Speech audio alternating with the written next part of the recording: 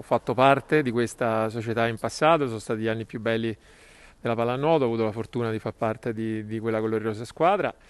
Adesso sono tornato a vivere in questa città e quindi una... ci siamo avvicinati piano piano, diciamo, eh, collaborazione, ci siamo scambiati di pareri e poi è nato il discorso e il progetto per il 2021-2022. Quindi è una cosa che a me riempie sicuramente d'orgoglio, è una sfida, eh, uscire da un momento di pandemia e quindi rifar partire tutto un settore giovanile, da anni lavoro proprio con i ragazzi e quindi spero di poter mettere la mia esperienza a disposizione di questa società. L'Abruzzo è tra le ultime regioni d'Italia proprio per quanto riguarda la pallanuoto giovanile.